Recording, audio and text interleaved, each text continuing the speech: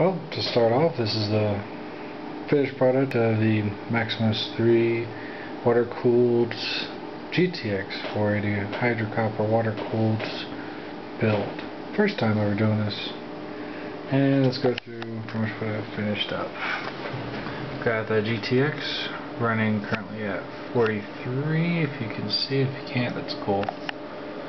And then all the overclocking, plus I have a small Intel dual core was that 3.3 gigahertz usually at 347 and no one cares about that. Moving on.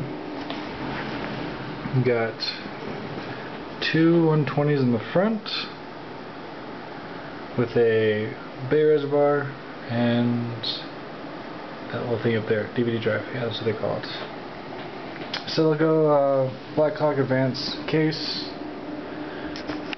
starting there. I've got, right now currently red, but it's got 256 colors. Thermaltake uh, temperature gauge down there.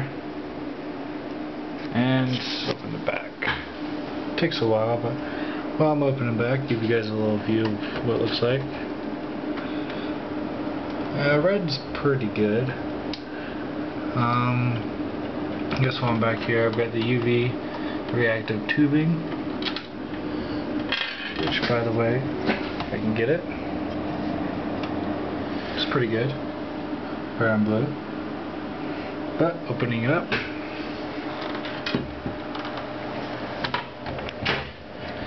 Got a total of 8 gigs right in there. I don't know if you can see it.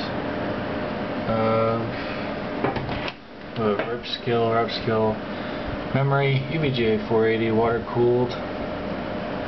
I've got a Swiftech water block. Oh, nice and clean down here. And pretty much it, as clean as possible. Less tubing to worry about. All the way down there's a Thermaltake temperature gauge. See if you can see it. Right where it runs at all the time maybe 32. but uh, that's pretty much it. Complete build, all done in however long it took for shit to ship.